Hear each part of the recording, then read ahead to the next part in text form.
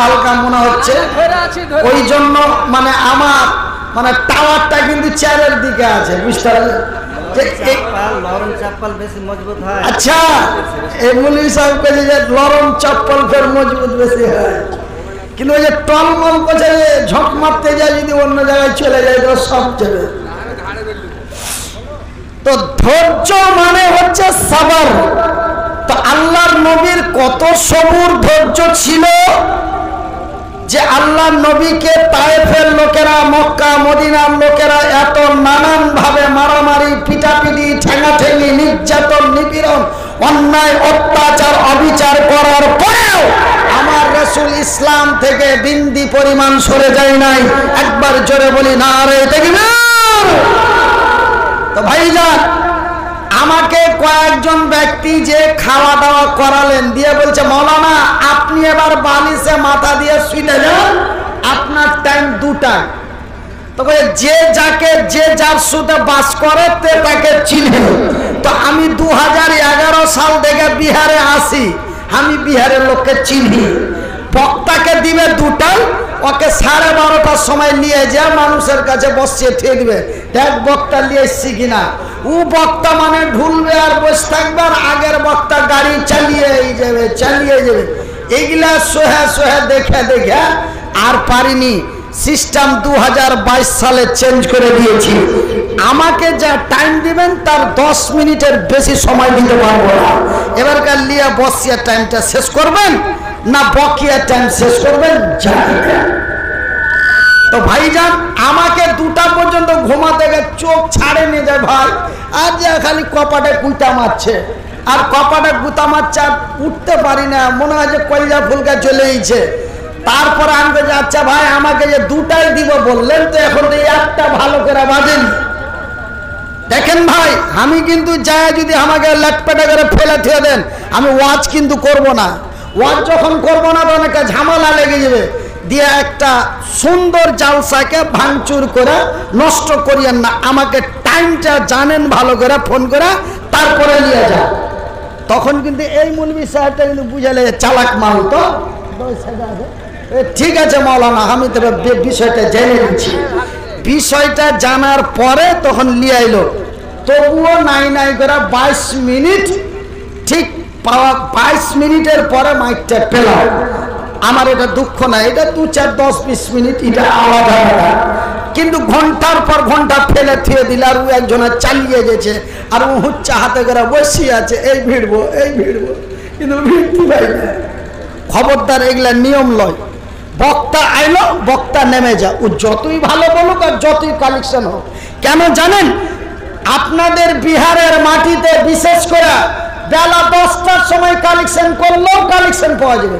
কালেকশনের দিকে দেখে আর একটা বক্তাকে বসছে ঠিবেন এটা কোনো নিয়ম হলো। আরে এই বক্তাকে দেড়টাই দিব, ওই বক্তাকে একটার সময় কালেকশনে লাগিয়ে দেবো। করেন না কালেকশন কত করবেন আমাকে আপনি, আমি আপনার জালসাতে চলে এসেছি। আপনি আমাকে যখন দিবেন, আমি তখন রেডি আছি।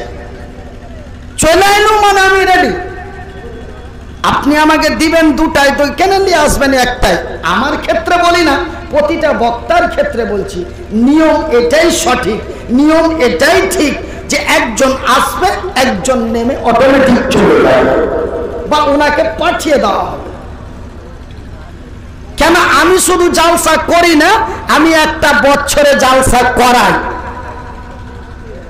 এই যে রাত দুটা বাজে গেছে, তাও আপনারা এরকম ভাবেই বসে আছেন। আল্লাহ আপনার ঘেই মধ্যে কত ধৈর্য দিয়েছে। আর যারা যারা ধৈর্য হারিয়ে ফেলেছিল ওরা উঠে পেঁচা বাড়ি পালিয়ে গেছে। ছোট মুলবি আসেনি হে, এরা আইসা আইসা গেরা বুকা বসা গ্রাম বসে নিয়ে আছে। এই ধৈর্য রাখতে পারেনি ধৈর্য হারিয়ে চলে গেছে।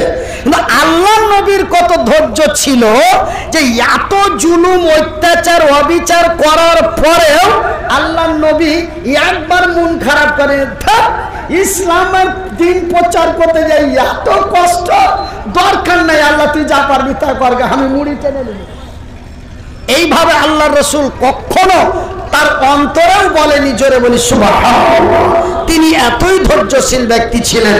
তাই আমার কবি বলছেন, আমাদের বিশ্বনাবিধি ধৈর্য দেখো মুসলমান, কর্মতা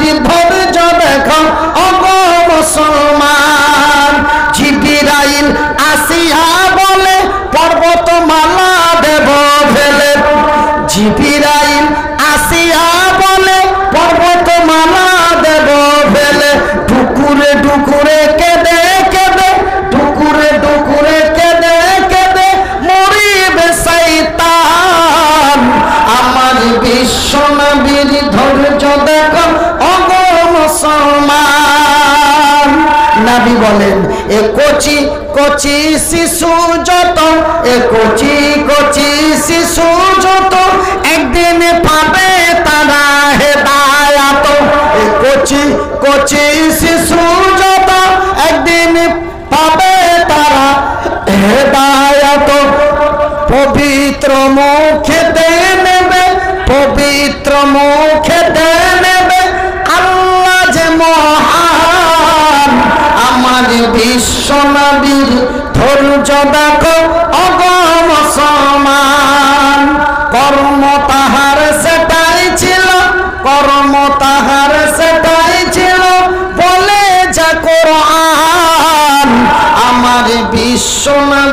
ধৈর্য দেখো অগম সমান সম্মানিত আজকের সভার সভাপতি, আগত অলমায় ইকরাম, সম্মানিত অতিথি বৃন্দ অত্র এলাকা থেকে ছুটে আসা ইসলাম পিপাসিত ভাই এবং বন্ধুরা,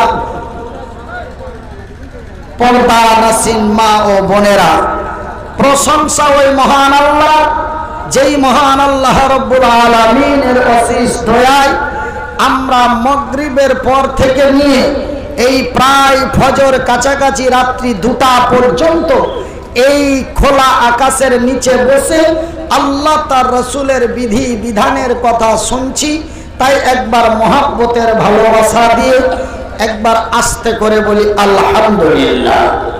তারপরে পরে আমাদের ধর্মের গুরু, ধর্মের নেতা, তো জাহানের নবী নবী মুহাম্মাদুর রাসূলুল্লাহ বলুন সাল্লাল্লাহু আলাইহি ওয়াসাল্লাম। আমার ভাইয়েরা, রাত অতিরিক্ত এবং কিছুক্ষণ পরেই, ঘণ্টা দেড়েক পরেই আপনাদের আজকে রাত শেষ হয়ে আবার পরের দিনের সকাল হয়ে যাবে। আপনাদের ধন্যবাদ এবং স্বাগতম জানাই যে আপনারা একটার পর একটা বক্তার বক্তৃতা, তাকরির মুকাররিরদের তাকরির শুনতে শুনতে আপনারা রাত্রি দুইটা পার করে দিলেন। আল্লাহ রব্বুল আলমিনের দরবারে বলি যে আমরা যাহা কিছু শুনেছি, তাহার চাইতে আমলের আমল করার তৌফিক আমার আল্লাহ আরও বেশি করে দেন। একবার বলি আল্লাহ, একবার বলি আমি আমার ভাইয়েরা, আমার বন্ধুরা, আমার আব্বা জানেরা, আমার ভাই জানেরা, আমার আল্লাহ রব্বুল আলমিন তার বান্দা, তার বান্দিদেরকে কত ভালোবাসছে আমার আল্লাহ রব্বুল আলমিন এই পৃথিবীর মানুষকে কত ভালোবাসছেন?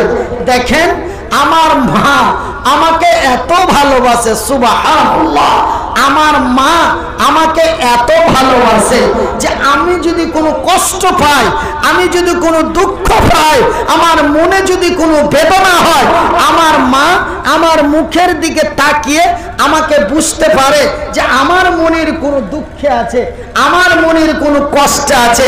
তখন মা আমাকে ডেকে বলছে, হারে বেটা, তোর কি হয়েছে? তোকে দেখে ভালো লাগে না। হারে বেটা, তোর মুখ কেন এরকম?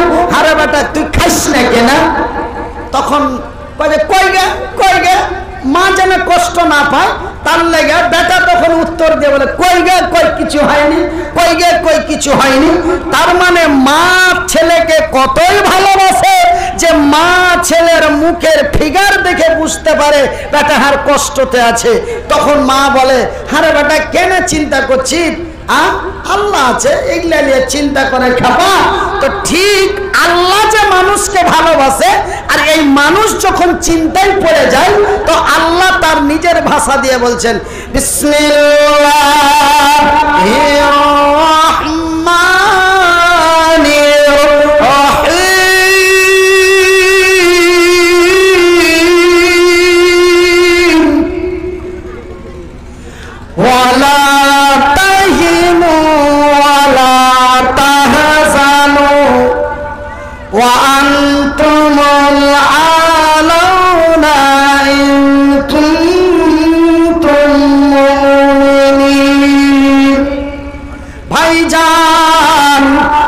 উনিশশো বিরানব্বই সালের ছয় ডিসেম্বর।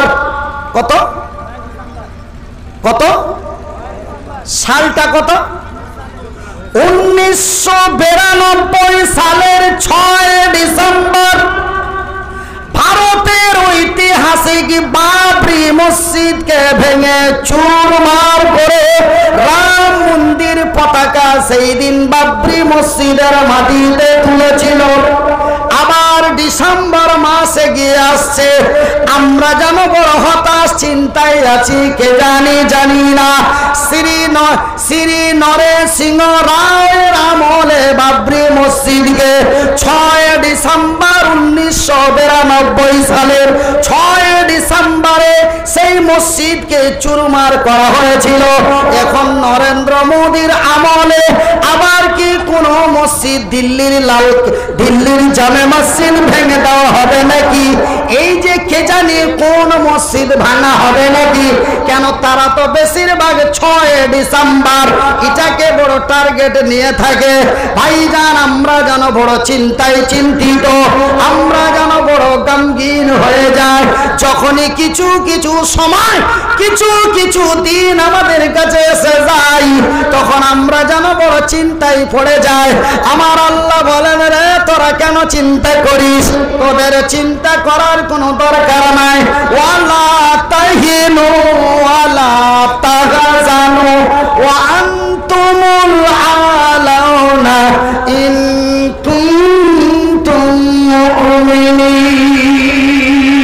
রে মক্কা, মদিনার সংখ্যালঘু, ইমানদার মুসলমানেরা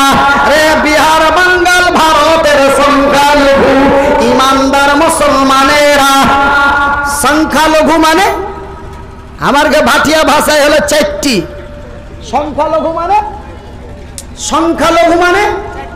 ভাটিয়া ভাষায় হলো চারটি। অল্প। কিছু। তো আমার আল্লাহ বলছে বিহার, বাঙ্গাল, বিশ্ব, ভারতের সংখ্যালঘু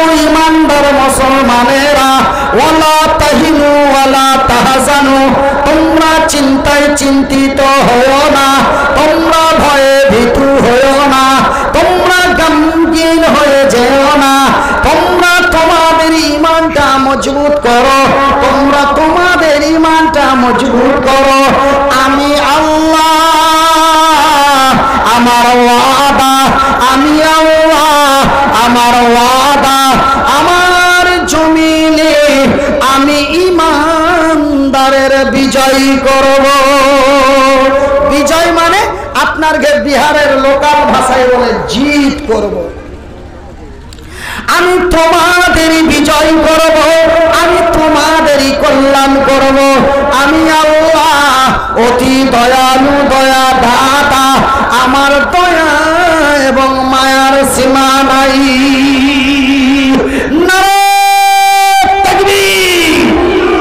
ইমানটা মজবুত করো। আমার প্রতি বিশ্বাস রাখো। ইমান মানে বিশ্বাস। আল্লাহ বলছেন, আমার প্রতি বিশ্বাস রাখো। আমার প্রতি ভরসা রাখো। আল্লাহ এরকমটা করতে পারে না।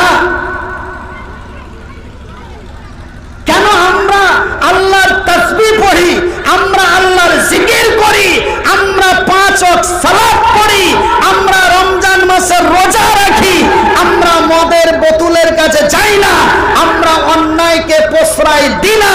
সেহেতু আল্লাহ আমাদের এমনটা করতে পারে না, এই ইমানের জজবা যার শক্তি আমার উপরে তাওয়াক্কাল করো, আমি তোমাদের ক্ষতি করব না, বরঞ্চ আমি তোমাদের কল্যাণ করব, আমি তোমাদের উপকার করব। একবার জোরে বলি, আলহামদুলিল্লাহ। এটা হলো আমার আল্লাহর ওয়াদা। কিন্তু ভাইজান সেই দিন অল্প সংখ্যা মুসলমানের মধ্য থেকে আমার আল্লাহ কাবা মসজিদে হারামকে বাঁচালো। কিন্তু আজকে ভারতের এত মুসলমান থাকতে কেন ভারতের বাবরি মসজিদকে ভেঙে দিয়ে রাম ভূমি পুজো করে রাম মন্দির নির্মাণ হলো ওরাও তো ছিল মুসলমান, আমরাও তো হলাম মুসলমান। ওরাও তো ছিল চারটি, আমরাও তো ছিল চারটি। ওরাও তো ছিল, ওরাও তো গরুর মাংস খেত, আমরাও তো গরুর মাংস খাই। তবে ওরা ওরা কেন বিজয় হলো? কেন প্রাধানি খেলাম? ওরা কেন বিজয় হলো? আমরা কেন লাঞ্ছিত হলাম? ওরা কেন বিজয় হলো? আমরা কেন বঞ্চিত হলাম? কারণটা কি রে? ওরাও তো মুসলমান, আমরাও তো মুসলমান। ওরাও তো চাইছি আমরাও তো চাইছি ওরাও তো সংখ্যালঘু, আমরাও তো সংখ্যালঘু। ওদেরও নাম ছিল নাম আছে আব্দুল্লাহ।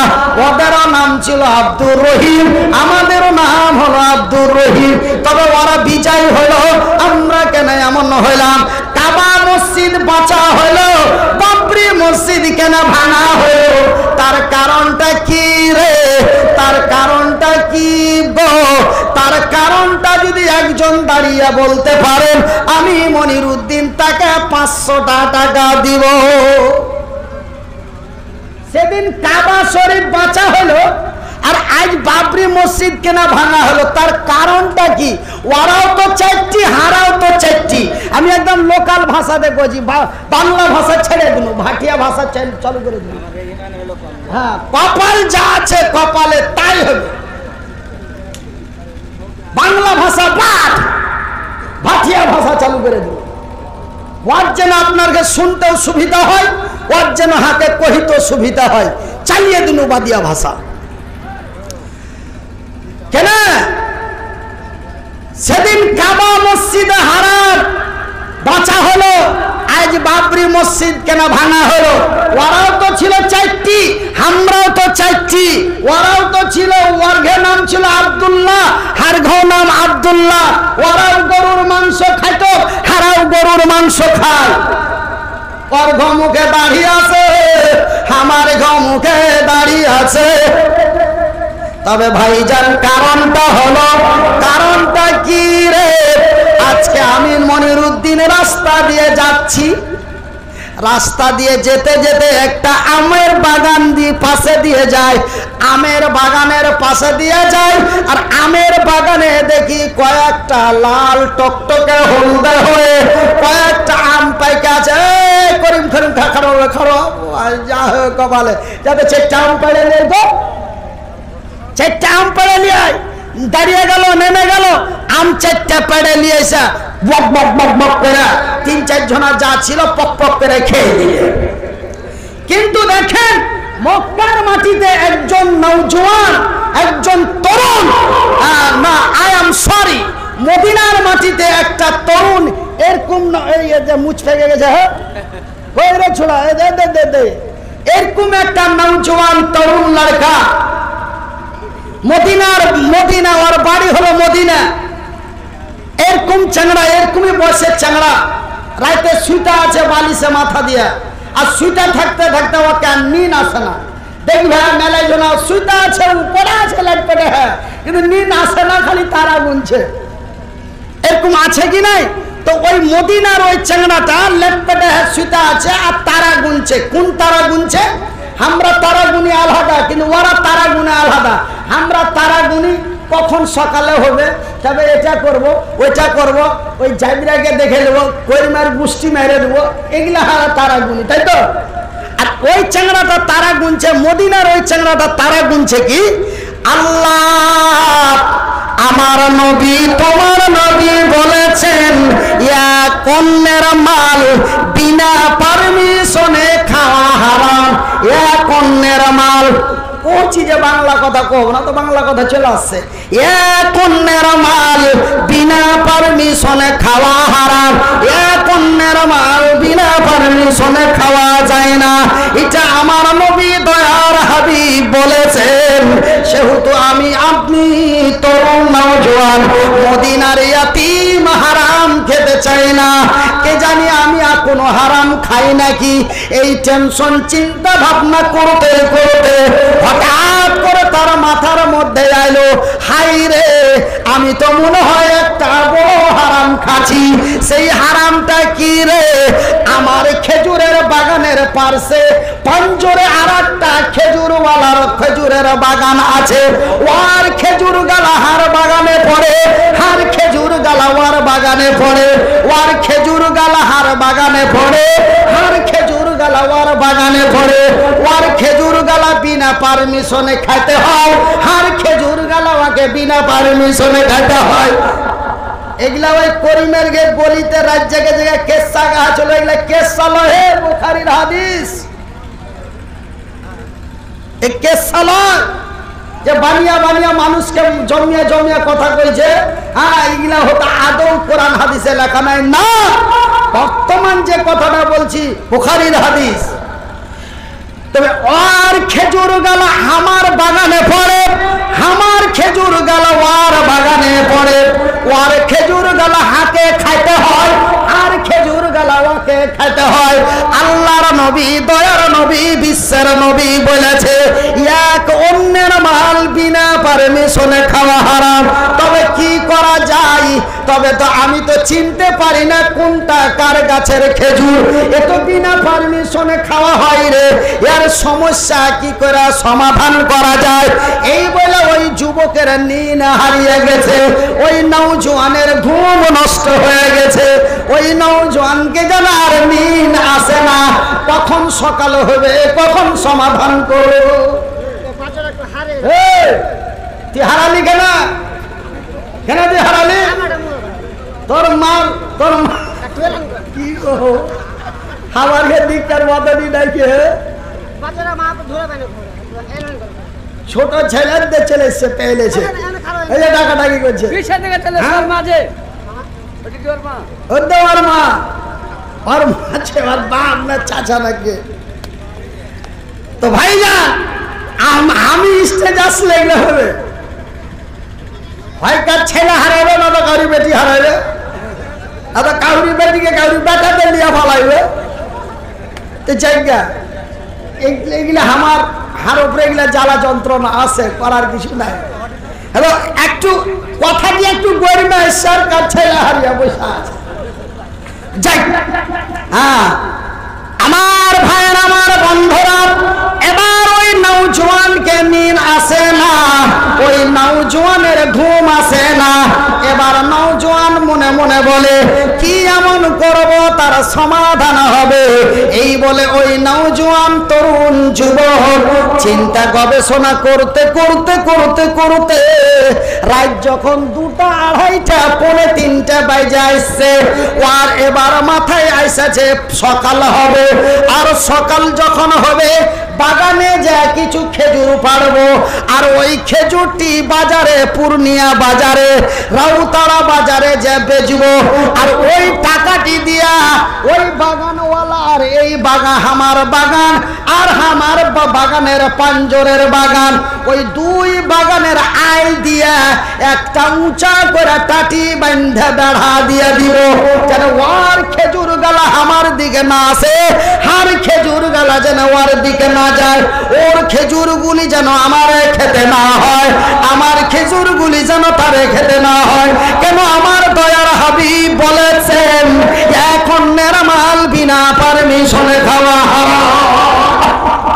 আমার ভাইয়ের, আমার বন্ধুরা আমার আব্বা জান, সোনার চানেরা আমার পরদা নাসিন মায়েরা, শুনে যাও রাতের বেলা, আমি মনির উদ্দিন বলি, খালা আপনারা জানো আমার ভাই, আমি জানো আপনাদেরই ভাই। যদিও বর্তমান আমার বাড়ি মুর্শিদাবাদের জঙ্গিপুরে হয়। এখন আমার বাড়ি মুর্শিদাবাদ, জঙ্গিপুর আর মালদা কইহ না? মুর্শিদাবাদ চলে গেছি, জঙ্গিপুর চলে গেছি। আমার ভাইয়ের, আমার বন্ধুরা আমার আব্বা জানে, সোনার চানেরা শুনে জানা রাতের বেলা। আমি মনির উদ্দিন বলি, খালা, একটু কান পেতে শুনে নিন।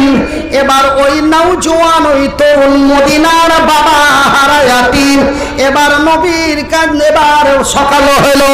কাজ আরম্ভ করে দিয়েছে। কাজ করতে করতে করতে করতে ওই বেড়া দিতে দিতে দিতে দিতে দিতে ওই বাগানের শেষ মাথায় যেন একটা গোল হয়ে, গ্যাপ হয়ে একটা খেজুরের গাছ, পাঞ্জরের বাগানওয়ালার বাগানের দিকে ঢুকে আছে। এবার সোজা যদি দেওয়াল যায়, সোজা টাটি তো নিয়ে যেতে দিবে না। কাহুরি ভুঁই দিয়ে কেউ টাটি নিয়ে যেতে দিবে? যাবে? না। ব্যাপার ব্যাপার নৌজোয়ান ভেজালে পড়ে গেল। ওই আতিম ছেলেটা ভেজালে পড়ে গেল। কি করা যায়? বাগানওয়ালার কাছে গেল। বলে বাগানওয়ালা জি বলে, কি হয়েছে? বলে, তোমার শেষ মাথার খেজুরের গাছটা যদি আমাকে দিতে একজন বড় লাভ হতো। কিছু আমি মদিনার বা পাহারা ইয়াতিম ছেলে আপনার কাছে এসেছি। যদি আপনি কিছু আমাকে দিতে, আমাকে অল্প কিছু টাকা নিয়ে যদি খেজুরের গাছটা দিতেন, যেন খুব ভালো হতো। ভাইজি একবার লয় দুইবার লয় তিনবার লয় চারবার লয় ওই নৌজওয়ান বারবার করে চারবার, তিন, চারবার করে। ওই ওই বাগানওয়ালাকে বলে, কিন্তু বাগানওয়ালার জানে দয়া হলো না, বাগানওয়ালার জানে মায়া হলো না। বাগানওয়ালা বারবার বলার পরে যখন দিলে না, ওই তিন ছেলেটা মুখখান চুচুড়ু মুচুড়ু করতে করতে বাড়ির দিকে চলে গেল। হাই রে, কি করা যায়? নাবি তো বলেছেন, এখন মেরে মাল বিনা পারমিশনে খাওয়া হারাম এখন কি করা যায়? এখন কি করা যায়? এই বলে এই বলে ওই নওজোয়ান তরুণ যুবক আল্লাহর নবীর কাছে চলে গেল। আল্লাহর নবীকে যে বলে ইয়া রাসূলুল্লাহ ইয়া হাবিবাল্লাহ ওগো নবী ওগো আল্লাহর নবী আমি একটা ছোট্ট দরখাস্ত নিয়ে এসেছি। বলে, কি রে? বলে, ওই খেজুরের গাছটা যদি কিছু টাকা দিয়ে নিয়ে দেওয়া হতো, আমি নৌজোয়ান না জানি কত ভালো হইতাম আল্লাহর নবী, দয়ার নবী নবী, ওই বাগানওয়ালাকে ডাক দিল। বাগানওয়ালাকে ডাক দিয়া বলে, বাগানওয়ালা রে। আসসালামু আলাইকুম ওয়া রাহমাতুল্লাহি ওয়া الحمد لله الحمد لله نحمده ونصلي على رسوله الكريم.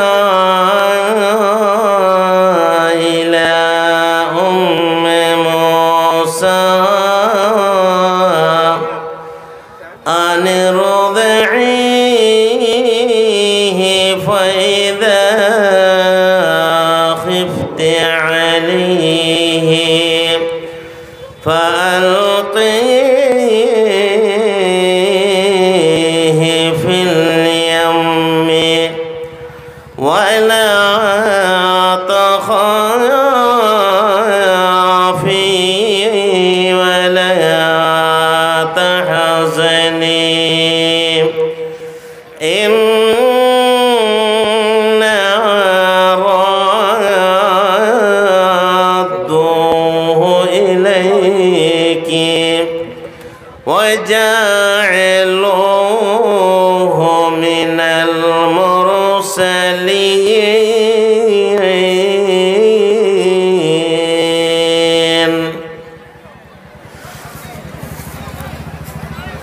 নবীজি অতি চমৎকার। নবীজি অতি চমৎকার। নবীজি অতি চমৎকার। নবীজি অতি চমৎকার। আরে নবীজি আরে তোমরা কি জানলে জি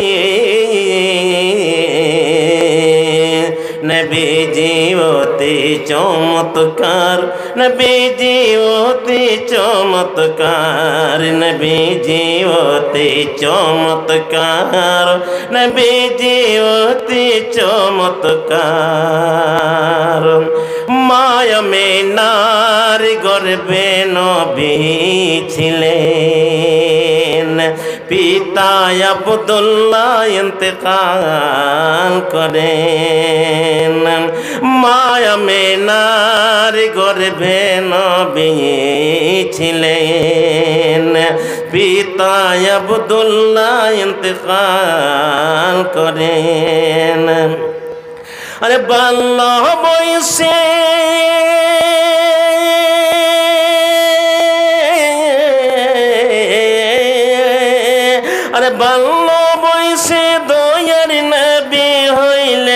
जन्नत में जी নবী জীবতে চমৎকার, নবী জীবতে চমৎকার, নবী জীবতে চমৎকার, নবী জীবতে চমৎকার। গার হিরায় ইকরা বলেন এই বাণীটি সকলে জানেন। আরে এই মুগ্ধ হইল।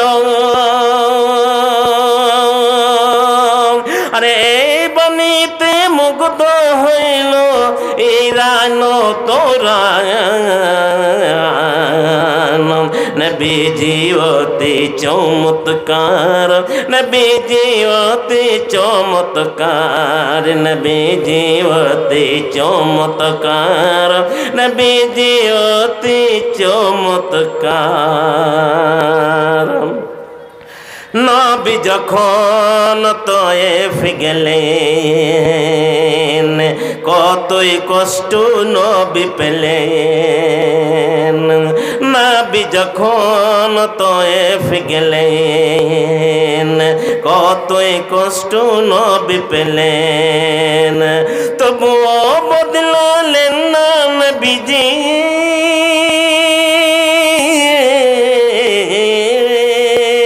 তবুও বদলালেন না নবীজি, দিলেন দোয়া জিয়ে নবী জীবতে চমৎকার নবী জীবতে চমৎকার নবী জীবতে চমৎকার নবী জীবতে চমৎকার নবী যখন শুয়েছিলেন জিবিরিলে সে বলে গেলেন নবী যখন শুয়েছিলেন জিবিরিলে এসে বলে গেলেন। আর আলীকে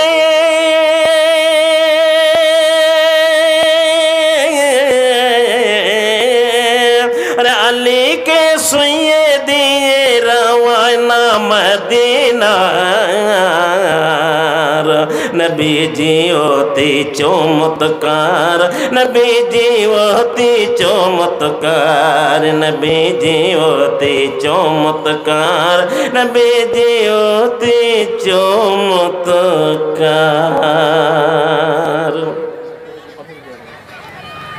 सामीन आपकी तरफ़ ना हो, इसलिए कि मेन मुकर जो है वो बाकी है।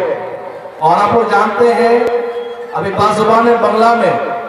अगर किसी को मुकर्र मांझे हुए मुकर्र समझा जाता है, वह है फजीलत शेख बदरुद्दोजा नदवी, जो मालदा से तशरीफ़ फरमाए। शेख की बातें बहुत ही कीमती बातें होती है। सुरली भी है, अच्छी भी है और मुतल अंदाज में तकरीर करते हैं। इसलिए मैं तमाम सामीन से इल्तिमास के तौर पर कहना चाहता हूँ कि आप लोग घर ना जाए। ये ना सोचे कि यही लास्ट मुकर्र है, बल्कि जो मेन मुकर्र है, वो बाकी है। और आप लोग जानते हैं फजल शेख बदरुद्दोजा नदवी के नाम से, जो बहुत ही अच्छी तकरीर करते हैं। इसलिए आपसे गुजारिश है आप लोग दिलजमी के साथ, दिलचस्पी के साथ पंडेल का अंदर आए और बैठे।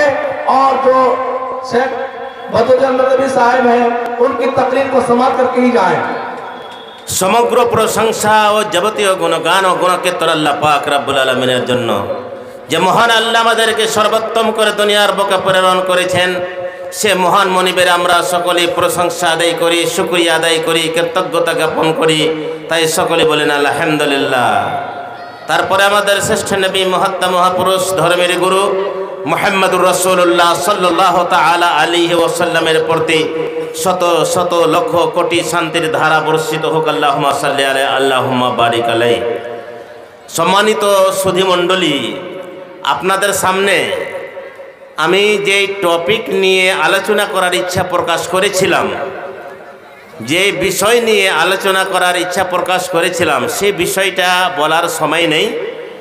আর যখন শুরু করে দেবো, তখন ওকে পূরণ করতে হবে বা মাঝামাঝিতে ছেড়ে লাভ হবে না। এই জন্য আমি ওই বিষয়টা ত্যাগ করলাম, ছেড়ে দিলাম। একটা হাদিস আপনাদেরকে আমি শোনাতে চাই। কর্ণপাত করে আপনারা সে হাদিসটা শুনবেন। আল্লাহ পাকের নবী জানাবে মোহাম্মদুর রসুল্লাহ সাল্লাহ তালা আলিহি ওয়াসাল্লাম মসজিদে নবাবিতে বসে আছেন।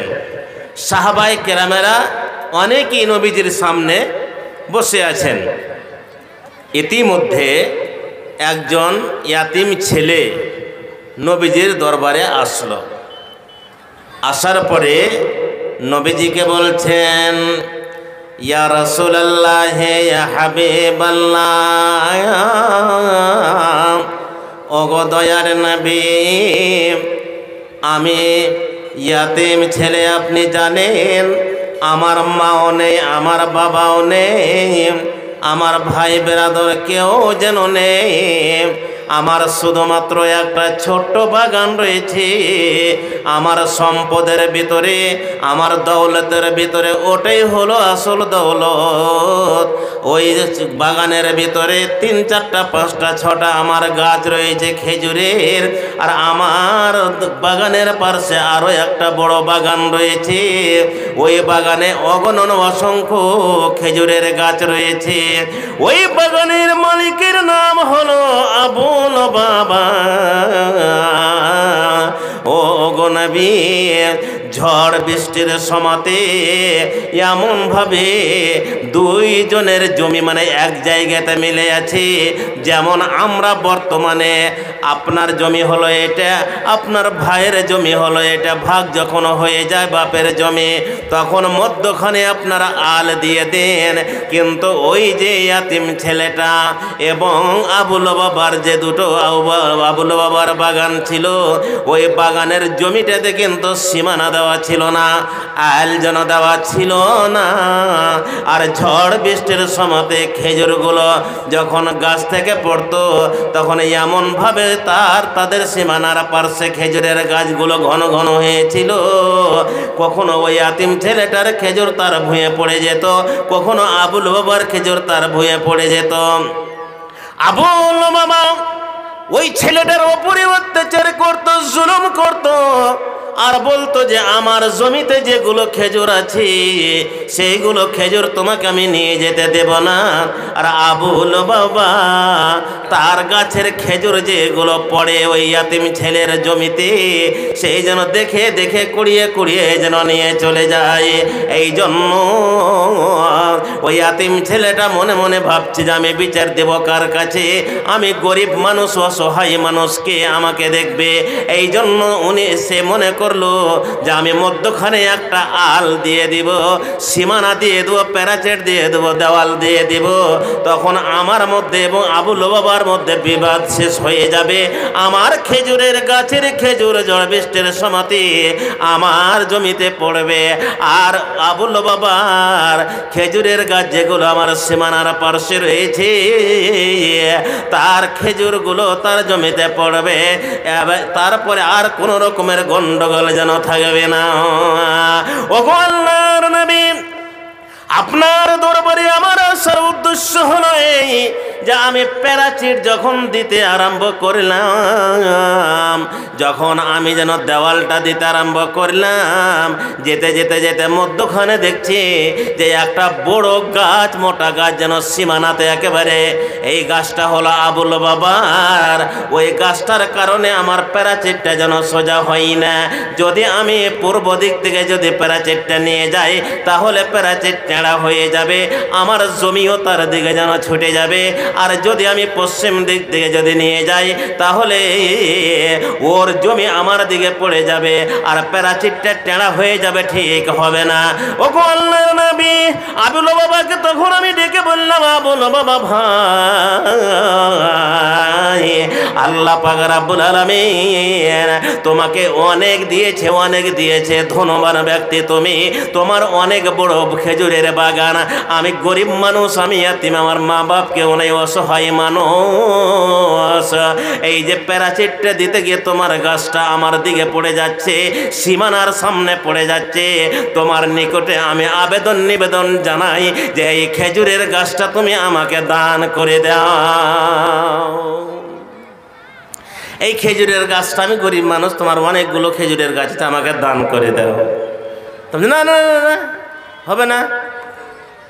তোমাকে দান করা যাবে না, দেবো না খেজুরের গাছ। আমার কমে যাবে একটা খেজুরের গাছ। দেখছ কত গাছ ফল? দিল না।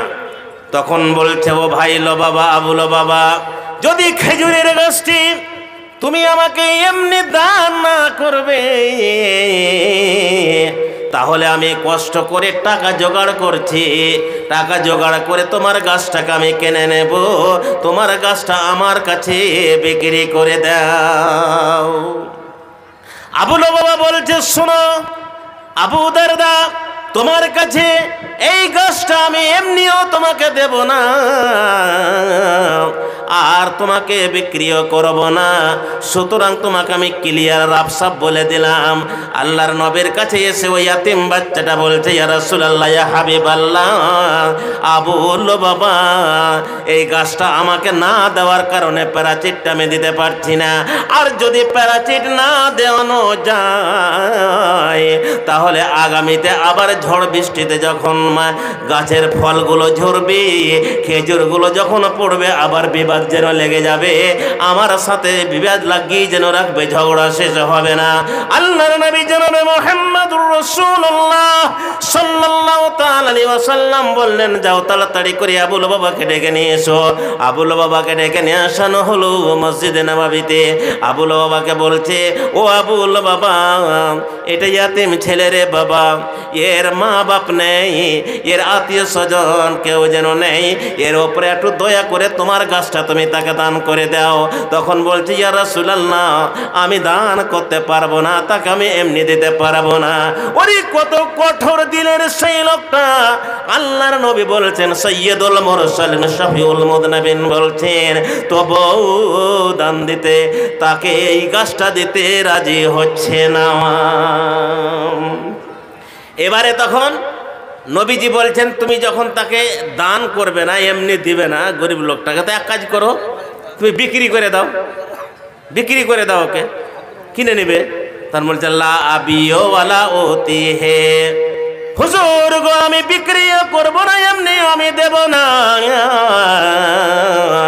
আমার গাছটা যে জায়গাতে আছে, ওই জায়গাতেই আমার গাছটা অব্যাহত থাকবে। নবীজি নিচে মুখমণ্ডল করে নিল এই তো ফেতনা বাজলো। আমারও কথা মানে না। নবীজি নিচের দিকে মুড়ি করে তখন ওপর দিকে তখন বলছে, এই শুনো, আবুলো বাবা, তোমার গাছটা আমাকে তুমি, আমাকে দান করবে, আমাকে দিয়ে দাও। বলছে, না, হুজুর দেব না। বলছে, শুনো, বিক্রি করে দাও, যে বিক্রিও করব না।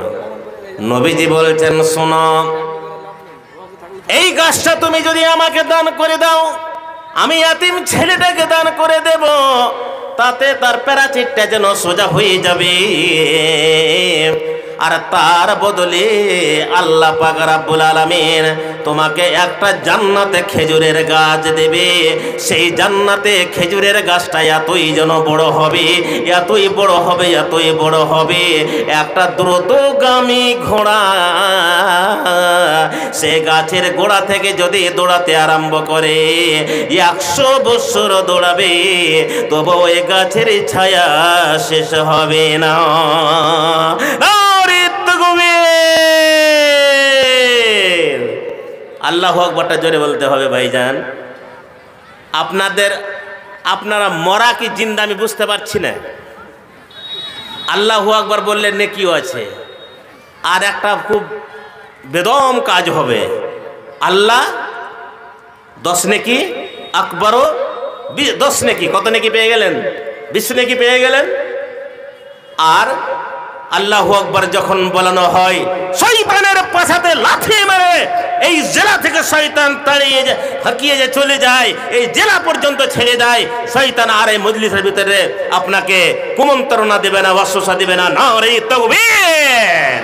মারেন শয়তানকে লাথি, সকলেই জোরে, উচ্চ সুরে চারে বসে আছেন, পলে বসে আছেন, ছোট বাচ্চারা, বাপ জানারা সবাই জোরে না লাগান নরে তকবীর। এবারে, তোমাকে এত বড় গাছ আল্লাহ পাক রাব্বুল আলামিন জান্নাতে দেবেন। সুতরাং তুমি গাছটা আমাকে দিয়ে দাও। তখন বলছে, আমি জান্নাতে আর ফান্নাতে গাছ আমি নিব না। কখন মরবো আর কখন জান্নাত হবে, কখন কিয়ামত হবে, কখন হাসরের ময়দান, কখন জান্নাতে? অত দিনকার আমাকে প্রলোভন দিয়েন না। আমি জান্নাতে গাছ চাই না, আমি এই গাছ দিব না। নবীজি বলছেন, বাবা রে, এত কঠোর দিলের লোক জান্নাত অস্বীকার করে দিচ্ছে। তো জান্নাতে যদি আল্লাহ তালা তাকে একটা খেজুরের গাছ দেয়, তাহলে সেই লোকটা অবশ্যই জান্নাতে যাবে। একজন ভাই আমার পাঁচশো টাকা, আমি চলে আসছি, হাদিসটা তো ওই উপলক্ষে আমি বলছি। যেহেতু এবারে লাফিয়ে আপনাদের ওপরে, মাথার ওপরে পড়ে যাওয়াটা ঠিক হবে না, তো একটু আস্তে আস্তে ধীরে ধীরে ধীরে ধীরে ধীরে একটু আপনাদেরকে বলি, সেদিকে সজাগ করি। তারপর ইনশাআল্লাহ আপনারা অবশ্যই সহযোগিতা করবেন। একজন ভাইজান আমার পাঁচশত টাকা দান করেছেন। আল্লাহ এই দানকে তুমি কবুল মঞ্জুর করো। যে উদ্দেশ্যে দান করেছে আল্লাহ, তার উদ্দেশ্যকে তুমি কবুল মঞ্জুর করে নাও। আল্লাহ তার ইহকাল পরকার মঙ্গলময় করো, তার খেতে খামারে বরকত দান করো। হ্যাঁ তো বলছিলাম, এবারে তখন নবীজির মুখমণ্ডল আর একজন ভাই আমার একশো টাকা দান করেছে। এই দানকে কবুল মঞ্জুর করো। থামেন, দান দিতে আসবেন না। আমি এক দু মিনিটের পরে আর একজন দিয়েছে পাঁচশো টাকা দান। এই দান কবুল করো পাঁচশো বাহান মিটা খোদা মনের অভিমান। আমিন আমিন, সুম্মা, আমিন। নবীজির মুখখানা মায়ুস। সুবাহান আল্লাহ নবীর কথা কেউ অস্বীকার করছে। বাইরে আমার, বন্ধুরে আমার, ওই সাহাবিদের মধ্যে একজন সাহাবি চট করে দাঁড়িয়ে গেলেন। তিনার নাম হলো আবুদ্দাহাদান! যেই সাহাবি দাঁড় হলেন সেই সাহাবির নামটা কি বললাম ভাই জানাবার সে সাহাবির নাম আবুদ্দাহাদারাদি আল্লাহ আল্লাহ বলছে ইয়া ইয়া আল্লাহ আমি পার্সোনাল কিছু গল্প করতে চাই। বলছে গল্প প্রমুখ আর চেয়ারম্যান ভাই মিলে করে জোবের প্রমুখ আর chairman. Amrul Amanullah. Amanullah PACS chairman. দুইজন মিলে দোনো ভাই দোনো ভাই মিলে পঁচিশ পঞ্চাশ। হাজার। হ্যাঁ।